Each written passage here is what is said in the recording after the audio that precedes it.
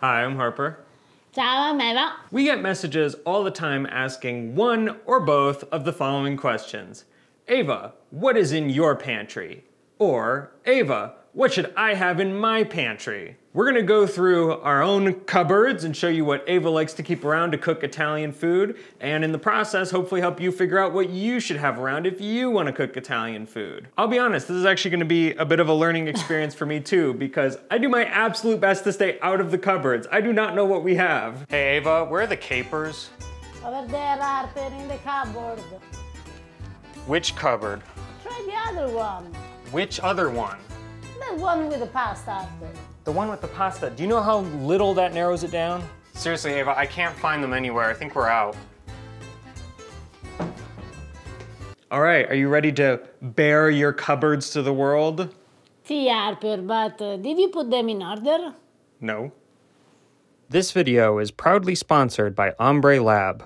If you're struggling with a health issue and you can't find the cause, your gut may be to blame. It really shouldn't come as a surprise that what we eat affects our health, but what you eat affects the bacteria in your gut, which then affects your physical and mental health. Ombre Labs offers a super easy to use at home test that measures your bacteria level by testing your poop. Don't worry, it's all super sanitary and actually really easy to collect a sample, pack it up in a prepaid box, send it into them. They analyze your gut health and give you actionable steps to increasing the good bacteria in your body. When there isn't enough good bacteria, bad bacteria flourishes. Not enough good bacteria can result in bloating, constipation, abdominal pain, fatigue, acne. It can also result in just a weak immune system. The results will include a breakdown of your personal gut health. How you doing? I'm not joking. I literally just got my own results back minutes ago. That's actually not a joke. Minutes ago. They recommend that I eat, among other things, more celery. That's pretty easy. Avocado. Luckily, Eva just got a bunch. Oh, chocolate. They can also develop a personalized probiotic made specifically for you and your gut. If you're struggling with any of the symptoms I mentioned and you wanna see if your poop has the answers, visit tryombre.com slash pastagrammar and you will get $30 off your own test. A big thank you to Ombre for sponsoring today's video. Let's start with that one. So let's see what we have here. Here we have uh, some cinnamon that I brought back from uh, one of my trips in Morocco and I love cinnamon so much that I could put it everywhere except on pasta. Capers and actually I prefer capers under salt but because this time I couldn't find them I bought this and this is also a staple in an Italian pantry so keep in mind capers. Then here we have uh, peanut butter powder obvious it's not mine because if I eat peanut butter I eat the real one. Another thing that is uh, Harper stuff I put it on popcorn. Then uh, here we have uh, saffron that I brought back from Italy because in Italy it's uh, cheaper than here in America. And what I do with saffron, uh, I do the arancini, I do the risotto, I season sometimes also my vegetables. My beloved orange blossom honey that I for this I cut my hands. Pine nuts, also this is a staple in, in an Italian pantry because uh, mostly if you want to cook Sicilian dishes you need pine nuts. Here we have uh, fennel seeds. These also are very important in our cuisine and most they are important in my mother's cuisine so that's why I have a bunch of them. Up here we have some Calabrian spicy pepper because I can't live without my Calabrian peppers and I use these uh, everywhere and for everywhere this time I mean really everywhere. Pocket coffee and uh, actually these are half mine, half Harper's. okay, more spicy peppers. Um, here we have some nutmeg because uh, when you make, for example, tortellini or when you make your bechamel, you need nutmeg. I have uh, the real peanut butter, as I said before. That one's yours. This is mine is mine. Baking powder, because I like to bake, so I have baking powder, powder and I have the American version, but I have also up here the Italian version, as you can see. And then uh, some uh, chocolate, because uh, guys, who doesn't like chocolate? one piece a day makes you happier. So chocolate, Nescafe. Now, don't think that I drink this instead of uh, my coffee, no, but I have this because I like to make what we call crema di caffè. That is a how do you say it's not a custard because it's made with mm, it is made with this and water and sugar and it's uh, good. Uh, one day I will show you how to use Nescafe in the proper way. Here we have something that it's very interesting. And this was a discover of Harper when uh, he was with me in Italy last time and this is something that uh, in Italy we use after we eat a lot and a lot and a lot. You put in water, you start bubbling, you drink, and all the food that you eat is just uh, goes. The, uh, what? The way you said that, it makes it sound like it exits your body no, it's like it helps, it helps you, you, digest. It helps you to digest after Christmas Eve, uh, the lunch for Christmas, New Year's Eve. It makes room for round two. Yes, more or less, something like that. Eva, we get asked a ton about these peppers and what they are and how you use them. Okay, we bought this when we were coming in Arizona for our moving. We bought this in Hatch, New Mexico. Uh, they are very pretty. I should say that uh, I used them uh, maybe three, four times when I didn't have a very spicy pepper. So I kept them more because they are beautiful. and here we have some uh, oregano. This was a gift from uh, Harper's aunt. So I kept this, but there are differences between this one and the Calabrian one. Here we have some uh, parsley because uh, in a lot of my dish when I cook fish, when I cook some uh, pasta dishes, I need parsley. Both of these guys are uh, Italian uh, staples, so things that you need to have if you want to cook uh, Italian. And like this too, we have other uh, fresh herbs like uh, sage, basil and uh, rosemary. Onion, as you see, garlic, other spicy pepper because we love spicy food. Some Roma tomatoes, potatoes, we have squash. And here we have uh, avocado. Uh, now, I need to say that I don't eat uh, avocado very, very often, but uh, for sure I love guacamole. That's why I have avocado here at home. Uh, here we have some uh, cherry tomatoes. I love to use cherry tomatoes, for example, in a salad. I love to use cherry tomatoes when I do my chicken pollo alla cacciatora, when I use, I do pasta allo scarpariello, so if I need to choose between mm, fresh tomatoes, usually I go for the cherry tomatoes. Cherry tomatoes, garlic, uh, onion, they are uh, other staples in the Italian pantry. We have uh, whole peeled tomatoes. Um, these are uh, obvious a staple in the Italian pantry. I bought Mutti because I trust the good people from Italy. So keep in mind to have always a can of peeled tomatoes or tomato puree, but pay attention always guys that inside there is just tomatoes. Here we have uh, tuna fish. Now, I know that uh, a lot of Americans have a bad relationship with tuna fish. And when I came here, I understood why. Because not every tuna fish in a can is good here in America. While back to Italy, we eat a lot of tuna in a can because it's very, very good. And I should say that this is pretty good anyway. Not like the Italian, but anchovies. Now, also for the anchovies, I prefer uh, under salt, but also this time I couldn't find undersalt, so I bought anchovies under oil. And also these are a staple in the Italian pantry, so if you want to cook Italian food, buy also anchovies. Then here we have some dried porcini mushroom. When I'm in Calabria and when I'm with my dad, I'm so lucky because my dad, he is a mushroom hunter, so I can eat the delicious and fresh uh, porcini mushroom from Calabria, but here uh, I can't find fresh. So I bought this dried and I use them to make uh, risotto or I use them also to cook some uh, meat dish. Amaretti cookies. Now, amaretti cookies can have a lot of uh, uses in Italian uh, cuisine.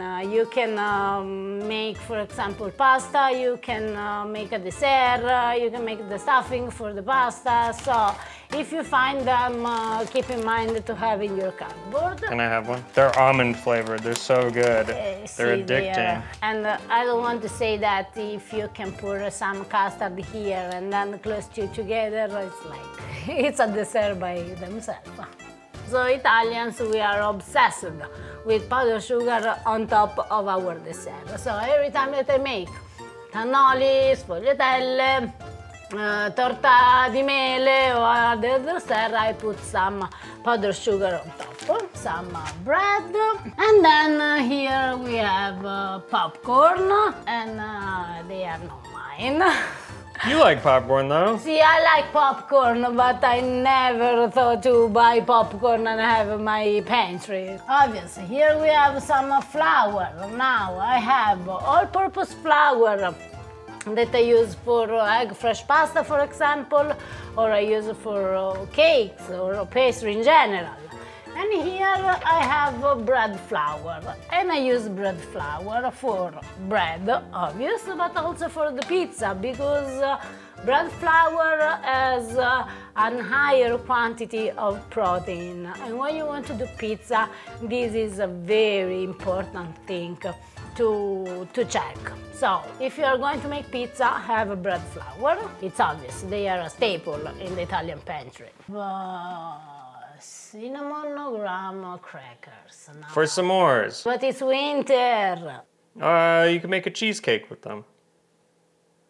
Can you make a cheesecake with them? Yeah, for the crust. Oh, thank you. Good to know. I didn't know until now. Aceto balsamico di Modena.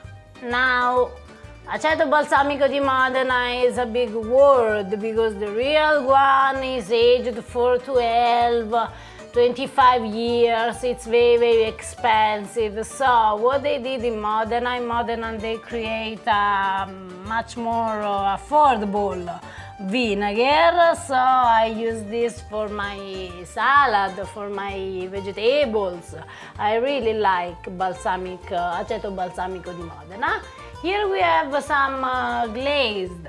Actually, I don't use it a lot, but sometimes when, for example, I cook tuna fish, I like on a stick of tuna fish to put some uh, aceto balsamico, glassa di aceto balsamico. It's really good. I'd never discovered it until you introduced me to it. See, it's very, very good uh, on, as I said, on fish. It's very good also, for example, on a strawberry. It's very good on a piece of Parmigiano. Here we have some good extra virgin olive oil. What I found here in America is that it's not really so easy to find a real Italian extra virgin olive oil.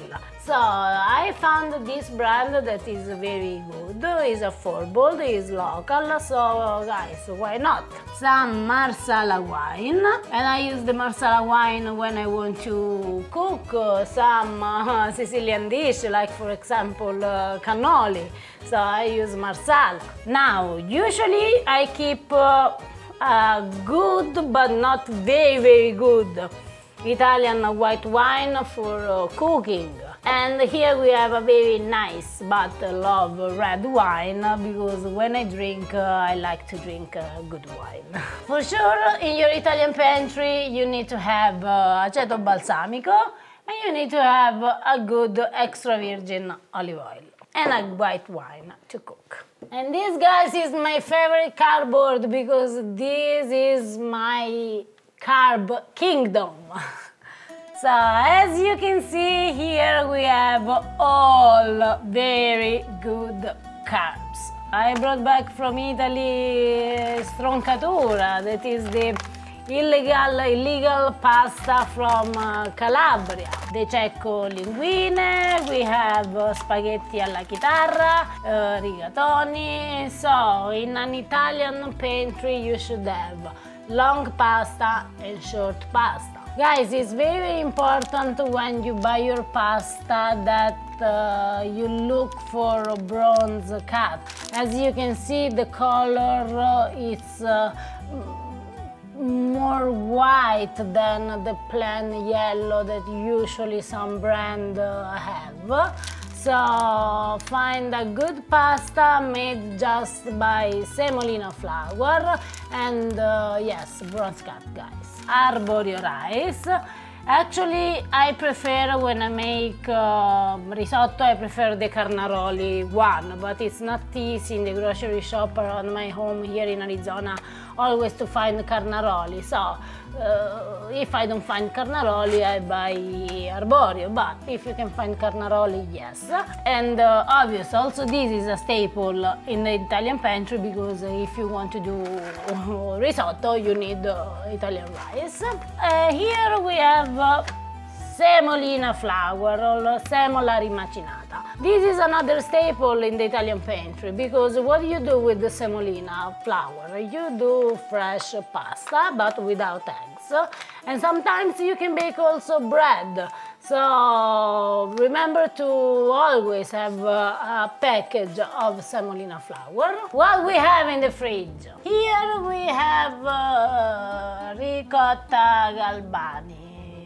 I'm a little bit ashamed of this uh, because uh, this is not the real ricotta. And more, uh, this is one of the worst ricotta that also you can find here in America. But I don't know what happens here in Arizona.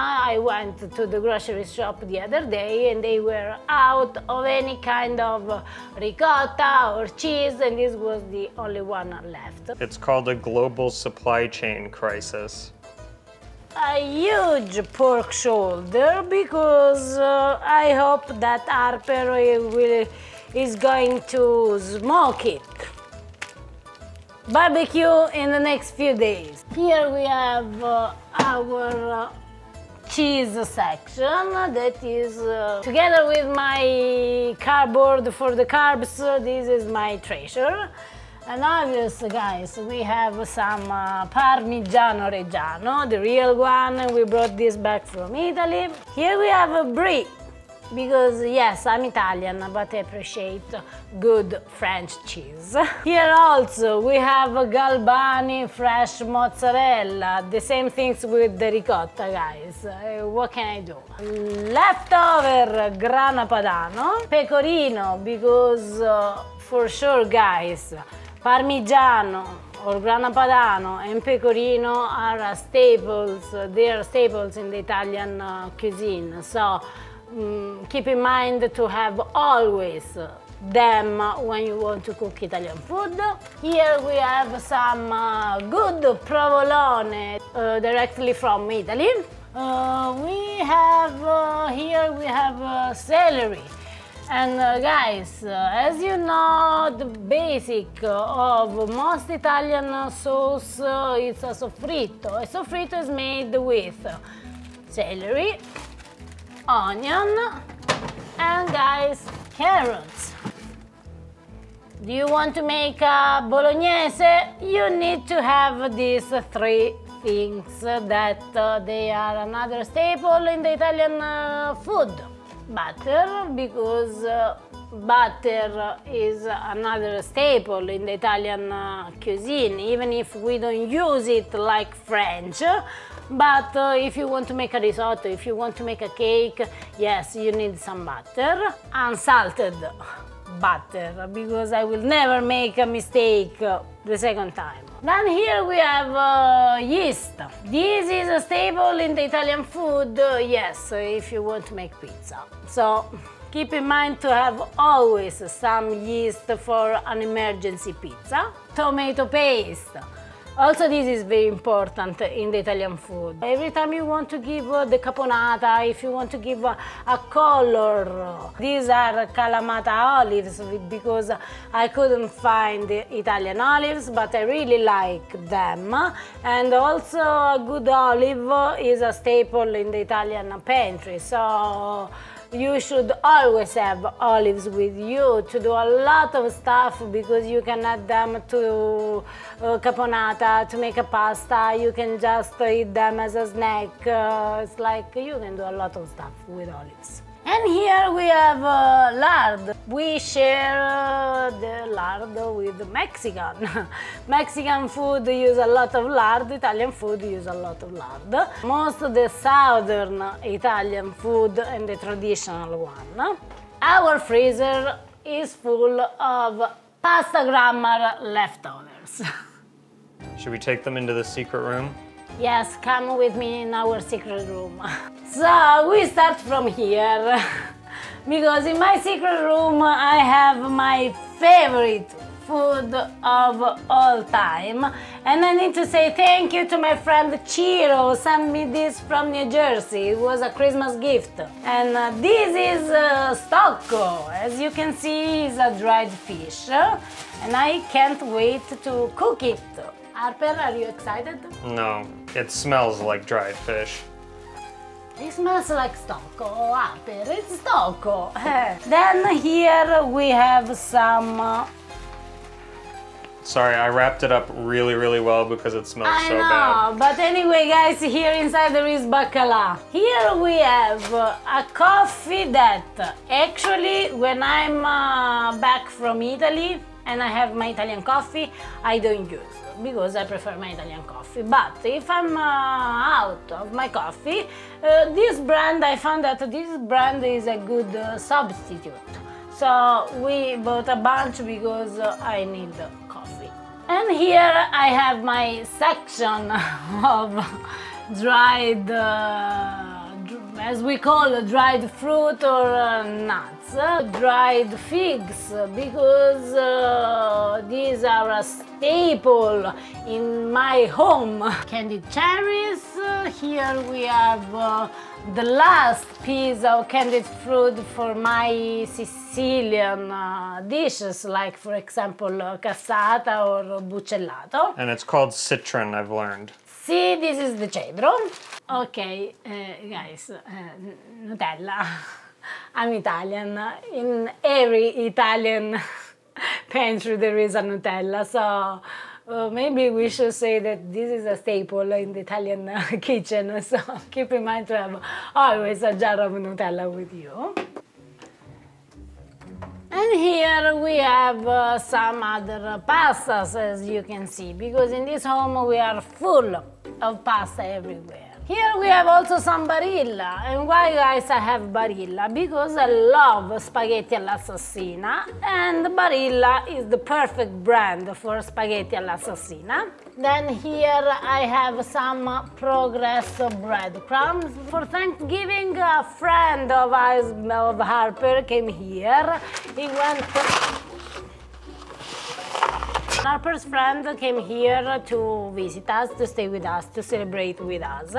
And uh, is uh, actually is from Spain and he wanted to cook for me the croquetas. And he didn't think that I could have breadcrumbs at home, but uh, he went and bought the Progresso. But as you can see, is still closed. Bread Breadcrumb is another staple in the Italian food, but be sure guys uh, to make your own because uh, uh, I have some trouble with this. Here, down here, as you can see, we have a bunch of uh, Harper's favorite pasta because our friend, they were so nice to send us some uh, filet from uh, Canada, from New Jersey. So Harper, now you can be pretty happy with all this. We have very good friends. This is a flower, is a special flower from Italy and this is a good flower to make uh, panettone. So this is the basic that you need to have in your pantry if you want to cook uh, Italian food. Flour, long pasta, anchovies, breadcrumb, fennel, capers, olives, fresh herbs, whole-peeled tomatoes, pecorino cheese, parmigiano cheese, butter, short pasta, tomato paste, semolina flour, vinegar, extra virgin olive oil, wine, rice, salt, black pepper, yeast, Nutella, onion, carrots, celery, garlic, spicy pepper, eggs, pine nuts. This is what more or less you need for cooking a bunch of Italian food. Such as? Puttanesca, pizza, calzoni, arrabbiata, cacio e pepe, fresh pasta, fresh egg pasta, frittata di pasta, risotto, salad dressing, pasta with anchovies, aglio e olio, pasta del poverello, bread, genovese fuiuta, pasta alfredo, Nutella, tomato sauce. Adding meat, you can make uh, ragù alla bolognese, ragù alla napoletana or meatball. You can add chicken for pollo alla cacciatora or chicken cutlet. You can add squid, for example, for calamari. Adding eggplants, you can have uh, caponata. Adding broccoli, for example, you can have pasta with broccoli. And uh, Believe me, this is just the beginning because we have a lot of other stuff that we can make with all of these ingredients. Do you want to show me one of them now? Are you hungry, Harper? Always. For our dish, uh, this time we need to make a broth, but it's a very special broth because we are going to use Parmigiano rind and be sure to clean your rind, scraping it with a very sharp knife. Then we are going to use some onion and some black pepper.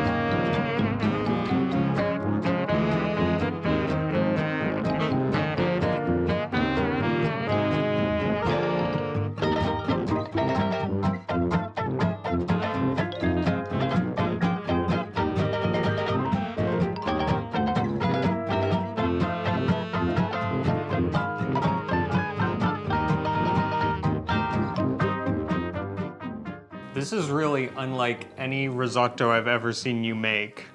This is uh, risotto cacio e pepe. Oh. Like the pasta, we make also the risotto cacio e pepe. Buon appetito. Oh, that's good. If you like cheese, this is the risotto for you. It's a great example too of how versatile that pantry selection is, you know? It's so, so, so different from say, pasta with tomato sauce. I mean, just with those basic ingredients, you can create so many flavors. With that mm, ingredients, you can create a lot of delicious Italian food. Guys, we hope you enjoyed this tour of our, I should say, Eva's pantry today. We'd love to hear from you. What are the ingredients that you can't live without in your pantry? Hit that subscribe button, give this video a thumbs up, and we'll see you next time. Ciao! Ciao!